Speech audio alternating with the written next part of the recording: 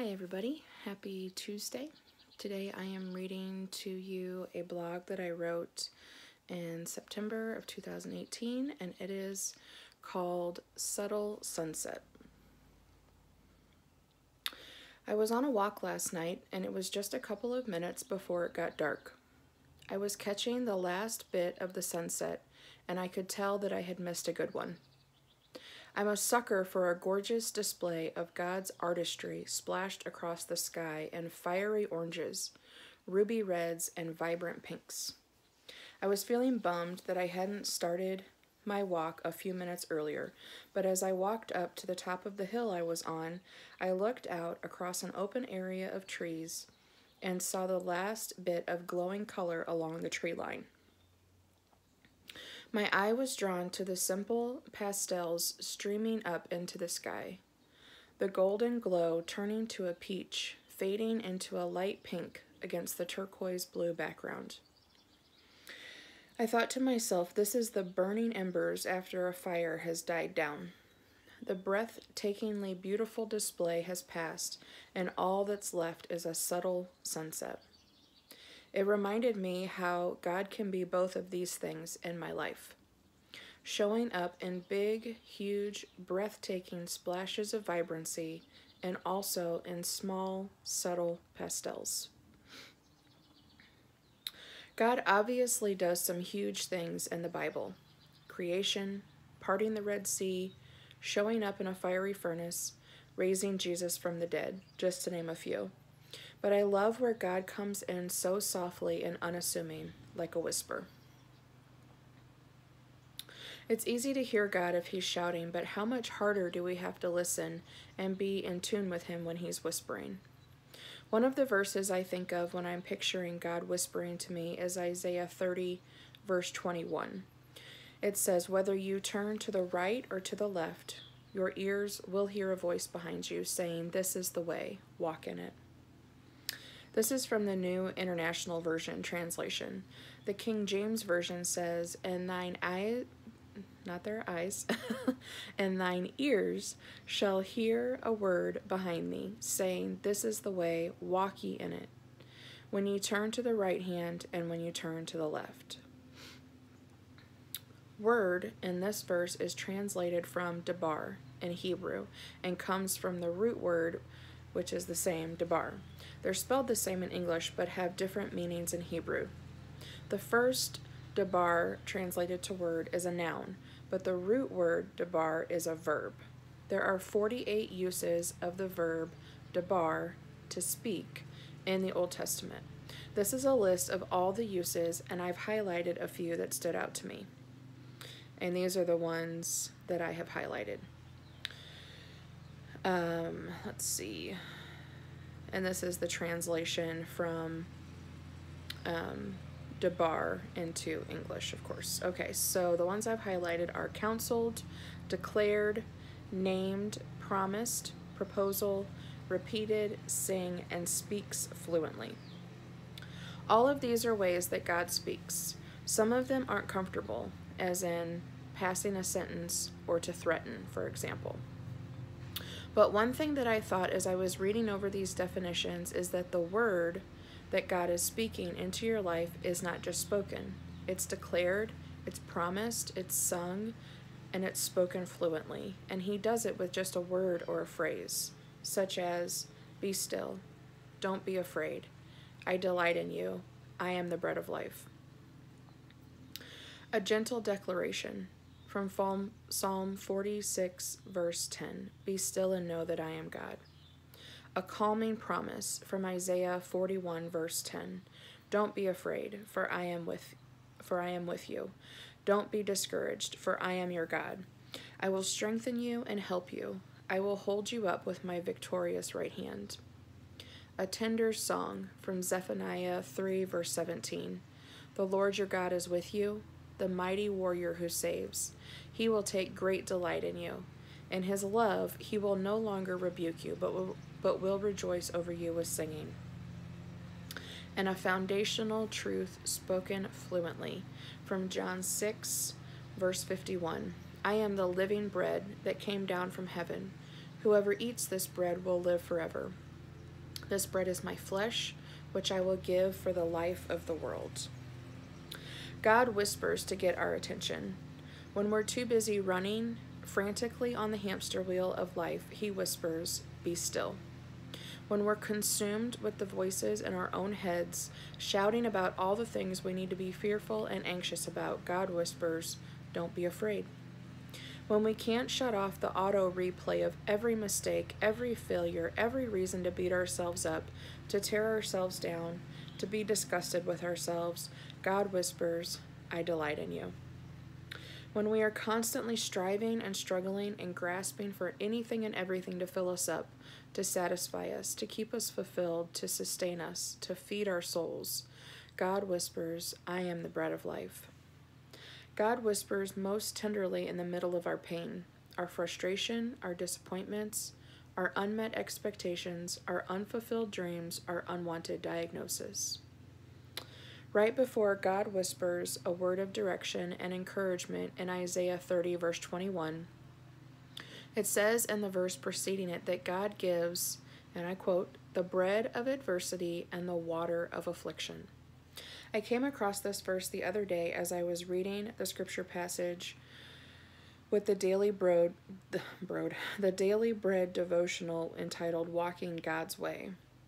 Isaiah 30:21 was used as the main point, but ever since I read Isaiah 30 verse 20, I couldn't stop thinking about those terms, bread of adversity and water of affliction.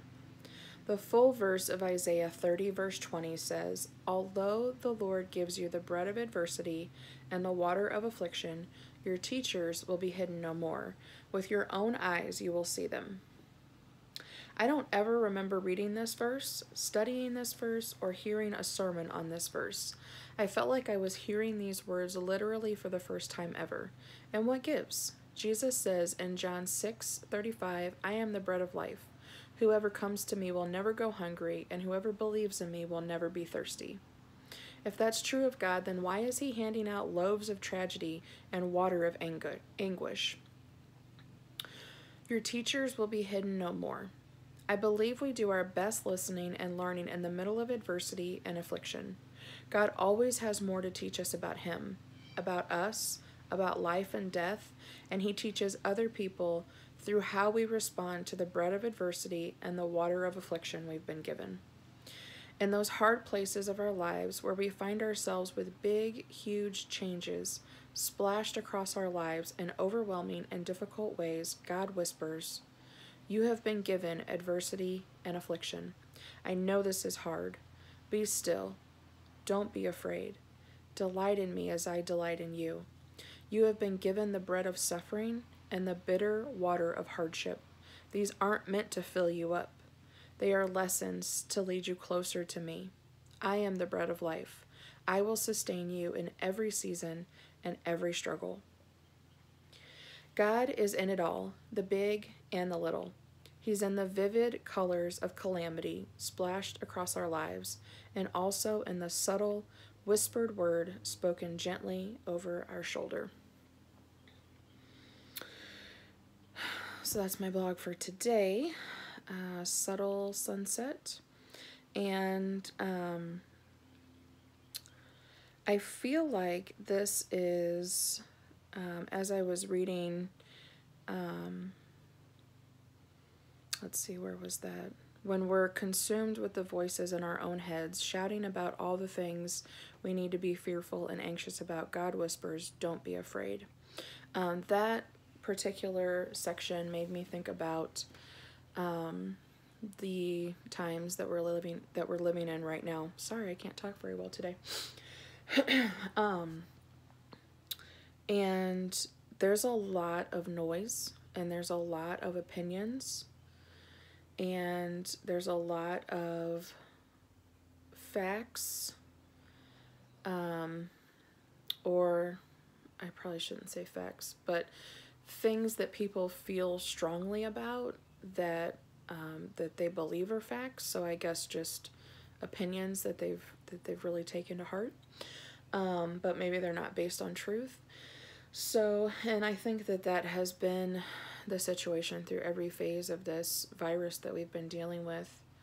Um, you know, when it first surfaced earlier this year, and then as people were in other countries were getting sick and dying, and you know, just the uh, every at every turn, it's just been it's been very overwhelming, um, and just to be inundated with so much information and a lot of anger and a lot of um, you know, people really feeling like they need to take a, a firm stand on on what they think is the right way to deal with the situation. Um, and you know, everybody deals with things differently, but for me personally, it just gets to be too much. And um, I'm, you know, I'm sure I'm not alone in that, but um, it's hard for me to hear God's voice and to feel peace and to really be able to just be still and know that God is in control when there is so much noise. Um, just, you know, constantly just a barrage of words all the time.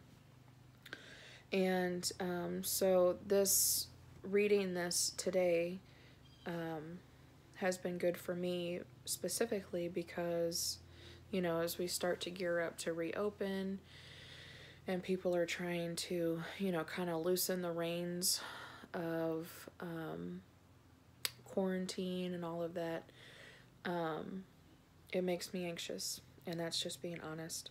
Um, you know, I'm sure there's a lot of people that don't think that there's a reason to be nervous about anything, but um, that's just my personality. Um, so, you know, for me, I feel like I'm having to, um, you know, really tune out a lot of the extra news and noise and just things that aren't really helpful um, to me. And I've I've had to do that a lot over the last couple months, just because it does get to be too much for me. Um, but as you know, as we're making plans to reopen and, and trying to figure out how that makes sense, um, and just you know within my own family trying to figure out how to you know let my kids be around their friends or or whatnot. Um, it makes me anxious inside because i don't want to get sick. I don't want my family to get sick. Um, and you know am i being too overly cautious? Am i not being cautious enough? You know these are just all the things that go through my mind. Um, and so it helps me to refocus and recenter and remember that no matter what happens god is still in control. I don't have to be afraid. Um, i don't have to live in fear. I can um, you know, remove myself from a lot of the things that are causing me anxiety, which is like spending too much time on social media, watching too much news, um, you know, and not spending enough time doing the things that I know feed my soul. Um, and so just, you know, trying to be intentional about finding the right balance in those things. Um, so if you're in that situation as well, I would really encourage you to, you know, maybe unplug from the things that are draining you. And I know these are probably things that people have, you know, been saying, and I have said myself over the last couple months, but, you know, we kind of get lulled into a sense of, okay, now we can go back to the way things were before and we can, you know, um, take everything that we see on social media as, you know, the gospel truth, which is not the situation.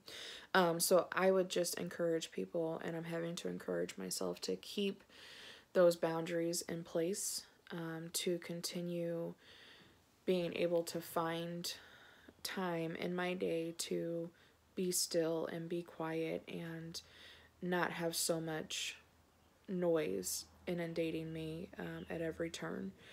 Um, and, you know, if you feel like you're not able to hear from God, um, you know, what I have seen in my own life is, and this is, you know, this is not like a a perfect formula or anything. I'm just thinking back over times where I thought God was silent and um and really I was either just choosing not to listen.